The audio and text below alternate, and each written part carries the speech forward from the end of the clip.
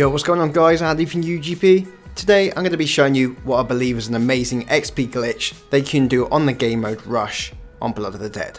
Now before you get into a game guys, you want to make sure that you equip Wraithfires, you also want to equip Time Slip, and you also want to equip DG5s.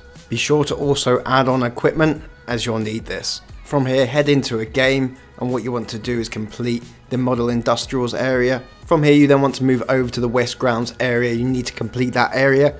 Then you need to go to the new industrial areas, you need to complete that area. Then from there guys you need to head over to the powerhouse and you need to complete this one. Now once you've done this one guys, all you need to do then is pick up time slip from the perk machine located by here. You then want to make sure that you have your Ragnarok DG5s ready to rock and roll. You want to make your way over to the same location and all you need to do is jump and slam onto the same barrier shown.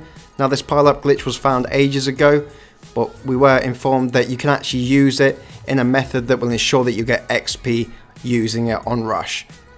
So instead of killing the zombies straight away guys with this method what you want to do is try and get your multiplayer up as maximum as possible. So to do that, what you need to do is pile up the zombies and then as soon as it starts ticking down, you'll see it in the bottom left hand corner, you need to chuck down a Wraithfire or pull out your Ragnarok DG5s. Now to start off with, you might need to use equipment to top up your Wraithfires to make sure that you'll be able to do this guys. But after you've done about 20 minutes of this, all you'll need to do is chuck a Wraithfire down which will top up your Ragnarok DG5s.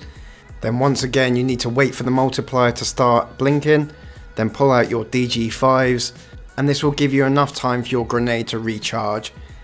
All you need to do is keep simply repeating the processes by actually waiting until your multiplier starts flashing, chuck a Wraithfire on the ground and then once again you need to then wait for the multiplier to start flashing, pull out your Ragnarok DG5s, by then your Wraithfire should be actually recharged up and just keep repeating the step.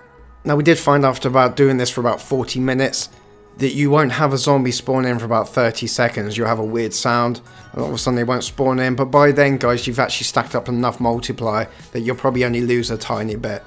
You can also use other elixirs to help with this. I believe Pop Shocks is a good one, Sword Flay, whichever one, to be honest, is going to kill the zombies in front of you and actually rank up or top up your Ragnarok DG5 so you can use them. Now, when performing this glitch, guys, I actually went up two prestige in an hour, so it's not super fast, but to be honest, it's probably the only best available ranking up XP method that there is there at the moment.